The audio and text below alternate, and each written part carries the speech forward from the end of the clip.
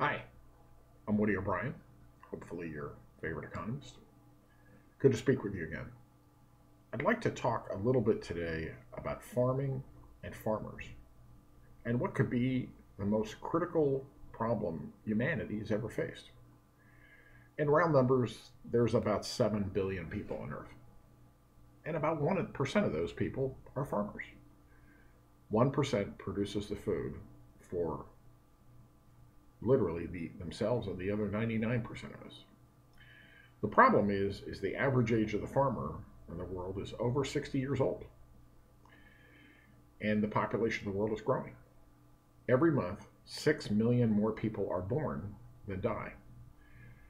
And the only thing we all really have in common, all 7 billion or so of us, is that we all need to eat three times a day. You can see where this is going to be a problem as population continues to grow. 10 or 15 years out, we're going to be knocking on the door of 9 billion people. And what's going to happen to those farmers? They're no longer going to be in their early 60s. They're going to be in their 70s, and most of them are going to be retired or, unfortunately, passed on.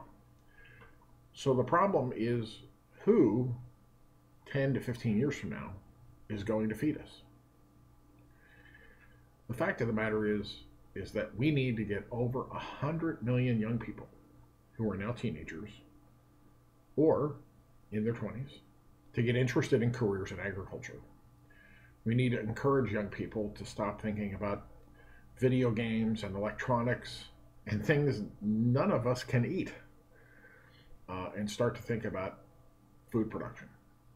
Now, if you're like me, I'm 53 years old, I'm a little bit too old to be a farmer although I'm happy to report I do now own a farm. I'm looking for someone to farm it for me. Uh, the best thing that those of us who understand this problem can do is start to talk to young people about agriculture and careers in agriculture. Because frankly, if we can't get young people in, interested in agriculture, we're going to be starving right along with them in our older age.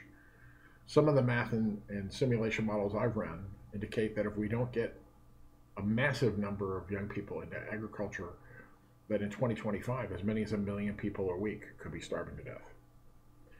For the rest of us who don't have the capacity to be farmers, we all can encourage young people, but we can also make a goal to start to try and have a goal to at least produce and grow 1% of the calories that we consume. This is a mission critical subject for every person on this planet because literally the growth of population, the aging of the uh, farmers, and the, uh, the planet's need for food for a growing population are headed to a head-on collision in the next 10 to 15 years. It's something almost no one is talking about. But every single young person that we can encourage to get into agriculture potentially saves hundreds of thousands, maybe even as many as a million lives from starvation. It's a task that we've all got to get to right away. I'm Woody O'Brien. Great to be with you again. Most of my work is online at abolishfiatslavery.com. And of course, I do uh, individual telephone consulting and consulting through Skype for individuals and businesses on any economic, investment, insurance, or finance related subject for $100 an hour.